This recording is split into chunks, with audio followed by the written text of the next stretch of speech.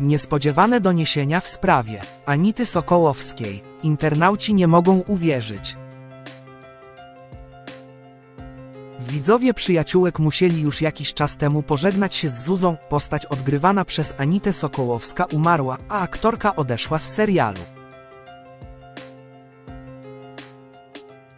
Zwiastun nowego sezonu Polsatu rzuca jednak nowe światło na sprawę.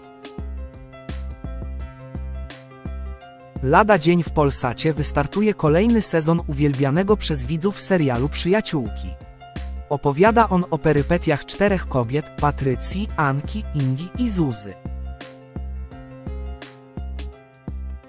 Postacie są grane przez Joannę Liszowską, Magdalenę Sturzyńską, Małgorzatę Sochę i Anitę Sokołowską. Każda z nich jest inna, różni je przede wszystkim sytuacja życiowa oraz problemy, z którymi muszą mierzyć się na co dzień.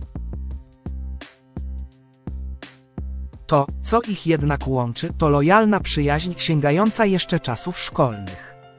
W zwiastunie nowego sezonu widzimy, jak do jednej z bohaterek dzwoni. Zuza.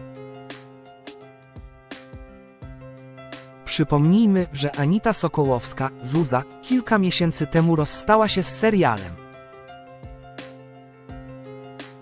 Zuza wraca do przyjaciółek, widzowie w szoku. Zuza była jedną z ulubienic widzów i pojawiała się na ekranie od samego początku. Jakiś czas temu jednak grająca ją Anita Sokołowska postanowiła pożegnać się z serialem, co okazało się jednoznaczne ze śmiercią jej postaci. W zwiastunie nowego sezonu widzimy jednak, jak Inga wyciąga z torebki telefon, a na jego ekranie widoczny jest numer Zuzy.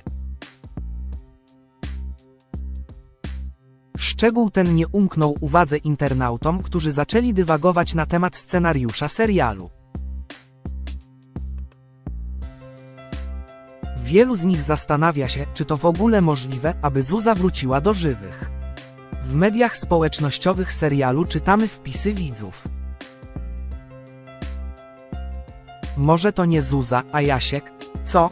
Zuza żyje? Przecież to niemożliwe, nie wierzę, Zuza? Przecież ona nie żyje.